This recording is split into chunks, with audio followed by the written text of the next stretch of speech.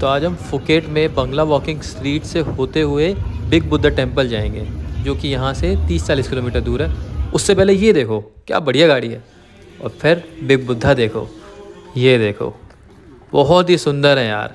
और फिर हमने थोड़ी सी पूजा कर ली, अगर मंदिर आए हैं तो करनी ज़रूरी है। Welcome back to my channel guys welcome back to another video Thailand series और आज मैं हूँ फुकेट में तो देख लिया मुझे कहाँ जाना है। फुकेट में है बिग बुद्धा टेंपल बोलते हैं वो यहाँ पे सबसे बड़ा बुद्धा टेंपल है। तो वो देख लेंगे ना, उसके रास्ते में जो चीज़ें पड़ेंगी, वो भी देख लेंगे। पहले काम तो क्या करना है कि मुझे क्या ना, मेरे मन में आया कि साइकिल पे चलूँ आज। मतलब स्कूटी इतने दिनों से चला रहा हूँ। एक बार साइकिल टूर कर लूँ, पर यार 20-25 किलोमीटर साइकिल चला पाऊँगा, नहीं चला पाऊँगा, ये सोचने वाली बात है। और ये दुकान पर खड़े होकर सोचूँगा, जहाँ साइकिल मिल जाएगी। यार, हर जगह पूछ रहा हूँ, यहाँ पे इस एरिया में किसी के पास साइकिल ही नहीं है। मतलब मेरा मन हो गया साइकिल चलाने का तो अब साइकिल नहीं है। और मैं बोलता ना, साइकिल नहीं चलानी तो साइकिल थी। ये देख लो, ये दिन की वॉकिंग स्ट्रीट है। पता ही नहीं चलेगा कि रात को यहाँ पे क्या होता है। और रात को भाई इतना म्यूज़िक हर क्लब में मतलब और जो होता है वो तो होता ही वॉकिंग स्ट्रीट पे। कोई गैस ही नहीं कर पाएगा यहाँ पे भी रात को क्या सेट होने वाला है।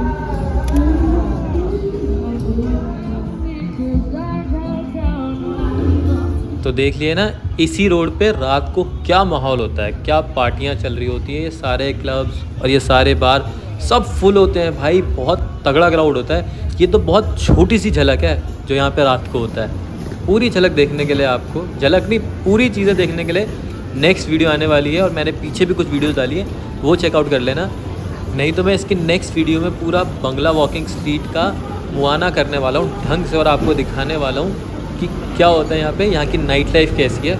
फुकेट की भी नाइट लाइफ देख लेना। बैंकॉक की देख ली पटाया की देख ली फुकेट की नाइट लाइफ देखनी है भाई। कराबी की भी देख ली कोसमुई की भी देख ली फीफी की भी देख ली। तो इन पाँचों जगह की नाइट लाइफ की वीडियो मेरे चैनल पे पड़ी हुई है। जो नया है, वो पुरानी वीडियो जाके चेकआउट करें और सारी नाइट लाइफ देख लें।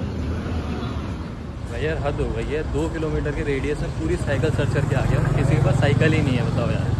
अब दिक्कत ये भी तो है ना, मेरे पास लाइसेंस नहीं इंटरनेशनल लाइसेंस वो घर पे लेट आया और यहाँ फुकेट में चलान बहुत जल्दी कट जाता है भाई और सीधा हज़ार बात का लगेगा चलान। एक वो भी रीज़न है तो इसलिए मैं साइकिल इसलिए ढूंढ रहा हूँ, पर अब क्या करें, अब चलान लगेगा तो लगेगा, अगर साइकिल नहीं मिलती है तो मोटर बाइक रेंट करेंगे। बेस्ट चीज़ लगी है मुझे यहाँ पे ये तो बोला। मतलब पचास बात में तुम्हें एक सौ दस रुपये का पड़ता है ये, वैसे तो ज़्यादा महँगा है, पर बढ़िया लगता है तुम्हें रियल टेस्ट लगता है मैंगो का। ये देखो भाई, क्या गाड़ी बना रखी है यार। Thailand is not for beginners तो फाइनली स्कूटी रेंट कर रहे हैं वो भाई अपनी स्कूटी को तैयार कर रहा है उसकी फ़ोटो वोटो खींच रहा है ताकि कोई डैमेज आता है मुझसे। तो ये अपने पास सबूत रखे जो कि मैं भी करने वाला हूँ इसके बाद।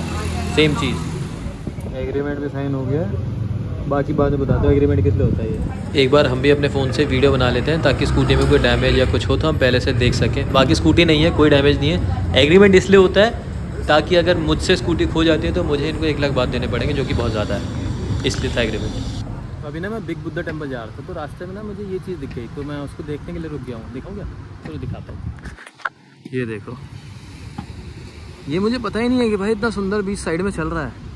और इतने लोग हैं यहाँ पे, इतनी सही, अच्छी खासी भीड़ है। मतलब पेटोंग बीच में रुका हुआ हूँ मतलब नज़दीक है पेटोंग बीच तो वहाँ पे तो इतनी भीड़ है मतलब पूरी भीड़ वहीं रुकी हुई है, ऐसा लगता है। यहाँ पे है भाई, सुकून और शांति तो। वो तो मैं बिग बुद्धा टेंपल निकल गया, नहीं तो दिखता ही नहीं कैरॉन बीच है शायद से कैरॉन बीच है। तो यहाँ भी आना भाई स्कूटी का रिस्क लेके आ जाना अगर तुम्हारा लाइसेंस नहीं लाइसेंस है तो फिर तो तुम भाई बेधड़क कहीं भी घूमो, क्योंकि अब मैं निकलता हूँ यहाँ से अपने स्कूटी पे। आज का हमारा टारगेट पता है क्या है?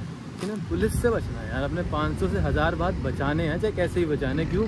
हज़ार बात का मतलब समझते हो, तेईस सौ रुपये तेईस सौ रुपये में क्या क्या आ जाएगा? और फालतू में पुलिस को क्यों देने? चलो यार निकल रहे हैं। वो देखो वो दिख रहे हैं आपको बिग बुद्धा।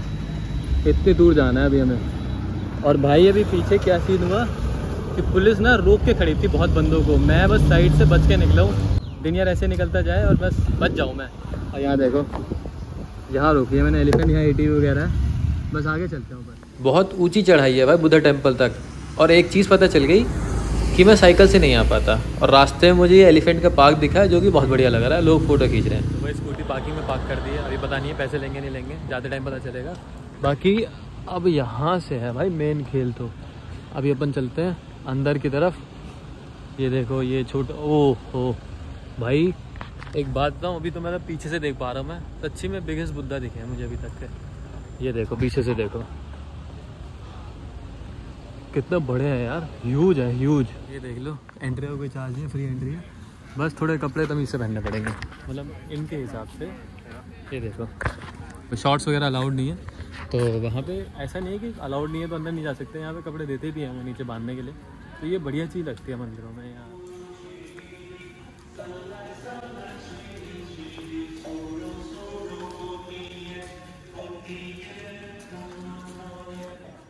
व्यू देख लो यार।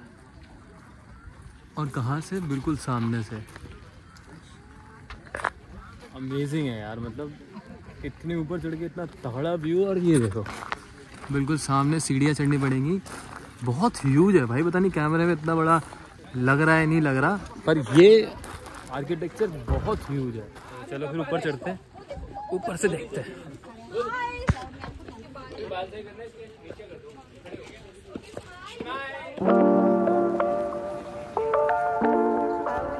ये देखो यहाँ पे।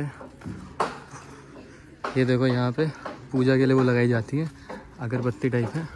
वहाँ से लोग ले रहे हैं।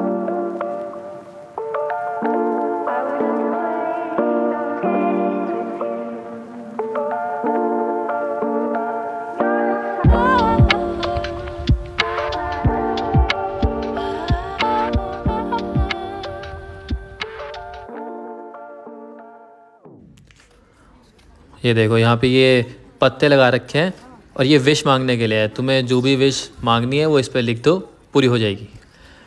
और अब एक बार बुद्धा जी की मूर्ति के राउंड में पूरा एक सर्कल का राउंड मार लेते हैं। चारों तरफ़ से देख लेते हैं, क्योंकि यहाँ से ना व्यू बहुत अच्छा आ रहा है। चारों तरफ़ इतना अच्छा व्यू है ना, बिल्कुल ऊपर टीले पे बना हुआ है मंदिर। ये देखो, क्या बढ़िया, क्या सुंदर मूर्तियाँ हैं।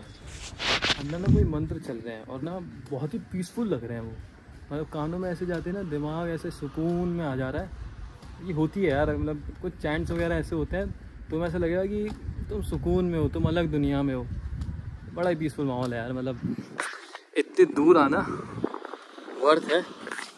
और तुम किसी भी मंदिर जा रहे हो यार, मंदिर तो हमेशा वर्थ ही रहेगा, क्योंकि तुम कुछ नया सीखते हो, कुछ नई चीज़ें पता चलती हैं तो जाया करो। यार अच्छा पीसफुल टाइम बिताने के बाद तो अलविदा कह देते हैं बुद्धा जी को, और निकलते हैं अपनी नेक्स्ट लोकेशन की तरफ़। और यही विश मांग रहा हूँ कि आज बस चलान ना घटे, आज कुछ और नहीं मांग रहा।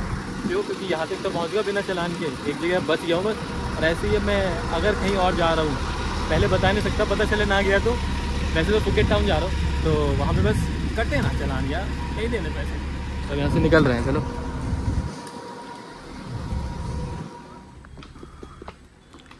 और टेंपल में ही यहाँ ये छोटे छोटे स्टॉल्स लगे हुए हैं। जिसको भी टेंपल की कोई भी निशानी लेनी है जैसे कि ये मूर्तियाँ हो गई ये पेंटिंग वगैरह हो गई तो यहाँ से वो भी ले सकता है। माला वगैरह सब है यहाँ पे। सीढ़ियों से नीचे उतर के जा रहे हैं पार्किंग की तरफ़। पर एक बात बताऊँ I think this has to be the biggest Buddha I ever seen in my life मैंने देखे ही यहीं पे सारे पर जो जितने यहाँ पे देखे ना फुकेट वाले बुद्धा सबसे बड़े। चलते हैं अपनी स्कूटी की तरफ़।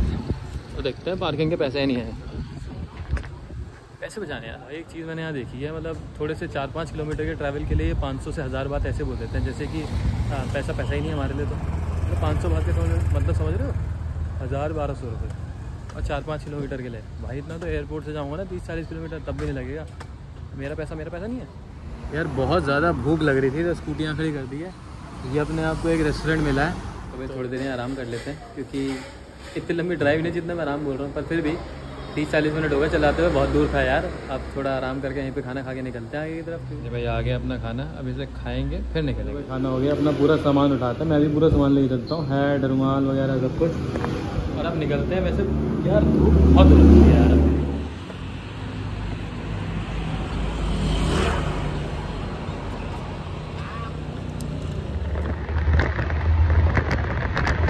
यार सुबह इसी स्ट्रीट से निकले थे और अभी वापस उसी स्ट्रीट पे आ गए मिशन है कंप्लीट हो गया जी। बिना पैसे दिए, बिना चलान कटाए वापस आ गए और ये अपना होटल ऊपर चल के बात करेंगे, चलो यार।